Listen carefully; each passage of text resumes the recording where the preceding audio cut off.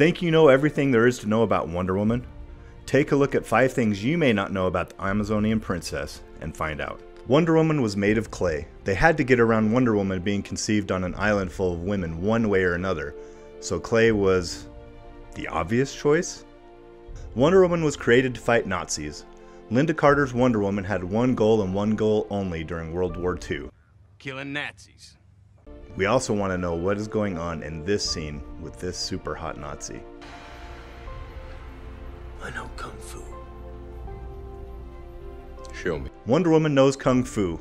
During the late 1960s and early 70s, Wonder Woman traded in her powers and met up with I Ching for some Kung Fu lessons.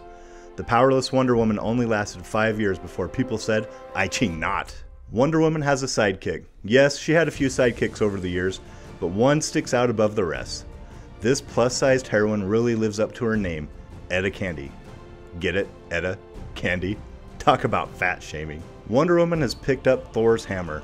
It's true, she really did, but did she really need to do that with an outfit like this? She later kicked it to the curb in favor of her natural talents, and we know how that worked out for her. Want even more fun facts about the Amazon princess? Check out the full top 10 list over on comicbookmovie.com.